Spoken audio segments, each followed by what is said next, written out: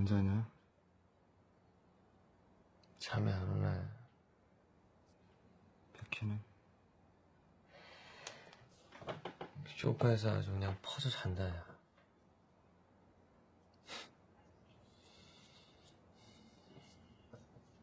나도 한잔 줘.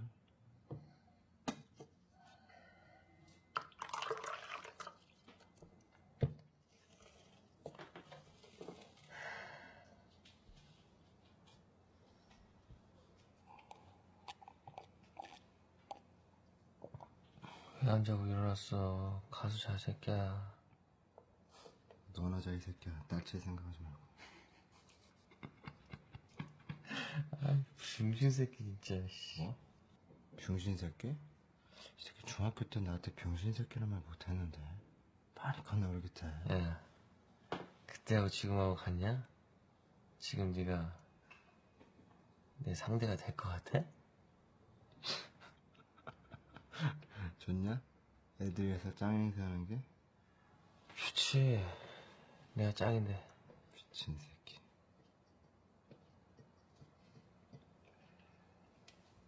졸업하면 다 끝이다. 내가 모르는 얘기를 해, 이 새끼야. 확 먹어버리기 전에. 미친 새끼.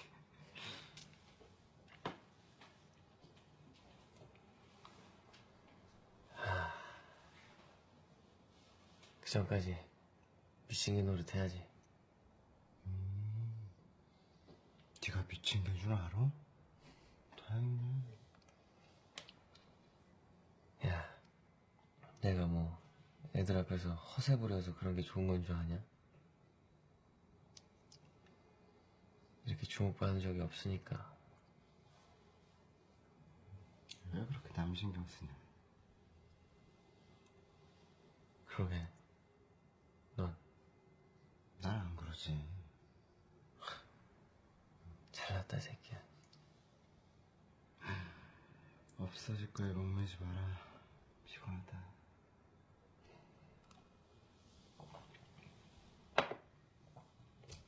그래도 다 없어진다고 해도 나한텐 네가 있잖냐. 내 맘 알잖아, 너. 다 연설한다, 씨. 중학교 때도 넌 나 알아줬잖아.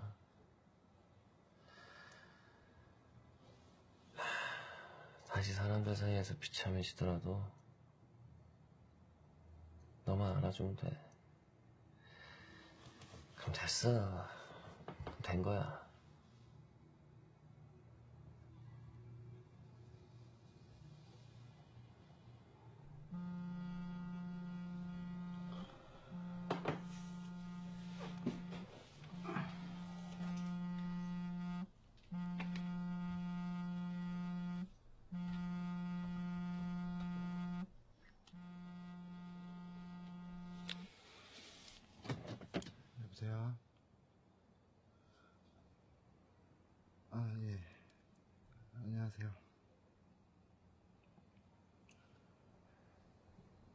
아니요, 괜찮습니다.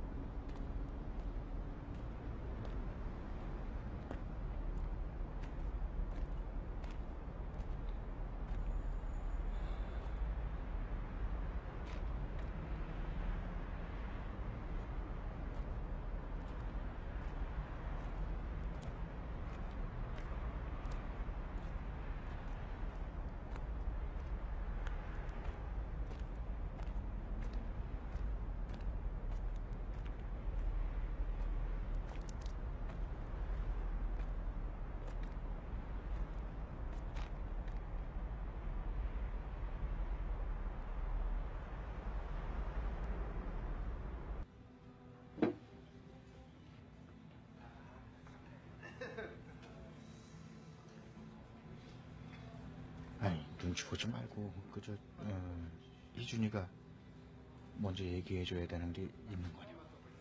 아니요, 그런 건 아닌데요. 그래. 그저 애들 신경 쓰지 말고 그냥 네가 하고 싶은 얘기 편하게 얘기해주면 돼. 아버님은 저한테 하실 말씀 없으세요?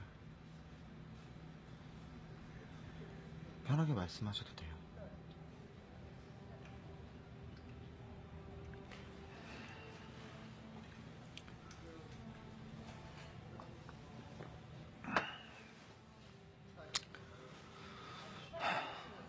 그래. 그저 뭐 궁금한 게 있다. 제일 친하다는 친구 둘이 그 중에 하나는 갑자기 전학 가고